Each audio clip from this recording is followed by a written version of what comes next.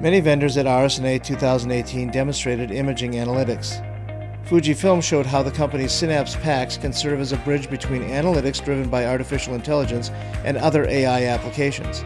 In an interview with ITN, Fujifilm executive Bill Lacy described how the openness of Synapse supports AI based analytics as well as AI algorithms for workflow and disease detection.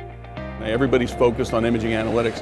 Uh, what is critical to adoption is that we bring this imaging analytics AI into use cases in applications like PACS. What radiologists want to see is how will it impact them? How are, how are they going to be able to use it in their applications? So that's why having a platform in between imaging analytics and the applications is critical to adoption. So let's talk about the openness of the Synapse. Why is it important to be open? We're not going to develop all of the imaging analytics.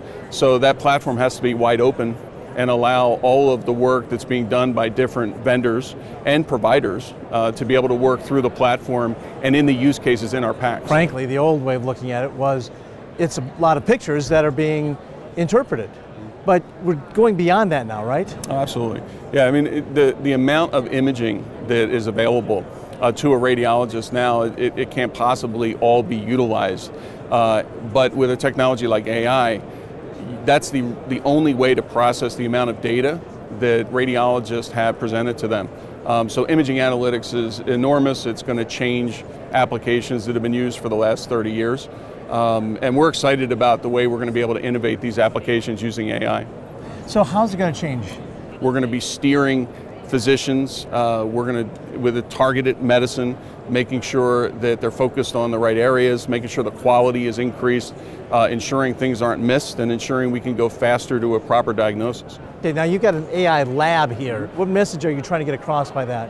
This lab is about how we're creating a platform to bridge AI into our own applications, but we also need to look at how we're going to move AI in between applications. We're showing the platform with multiple third-party uh, vendors. Uh, we have Koios, uh, we have Lunit, we have Riverain, um, all as examples of third-party AI using our platform and then delivering those AI results into our PACS application so radiologists could see how multiple AI vendor uh, work can be utilized in their PACS.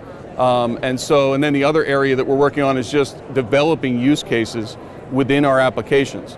So the platform itself may in the future serve more than just radiology PACS, but serve AI results to cardiology, it can work within the VNA, it can be utilized for research. So we're showing all that in the lab this year. Now this goes back to the openness of the Synapse because you're able to bring in those third-party vendors algorithms to, to run on your system. And that's the real world of a health system. There's interoperability between the EHR, disparate PAC systems, multiple VNAs, and so that's really the next step. I think you'll see a lot of that in the coming year is how do we interoperate further and make AI really something that information can be exchanged across systems um, in an AI ecosphere.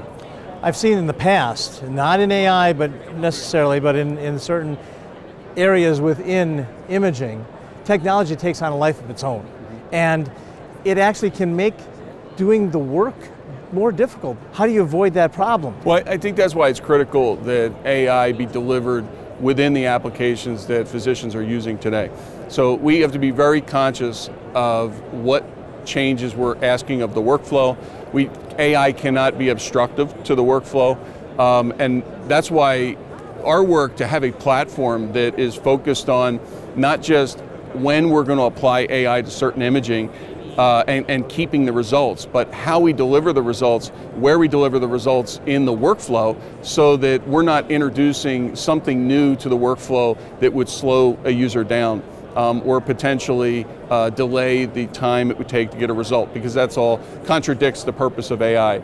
So it's two things that you've got to have. One is efficiency, one is uh, benefit yep. to both user and patient. Yeah, there has to be value. You have to have the ability to have a platform that will organize the AI that you're going to use, uh, maintain the results, and deliver them in an AI-enabled application, a PACS that's enabled to use AI results in workflows that will improve.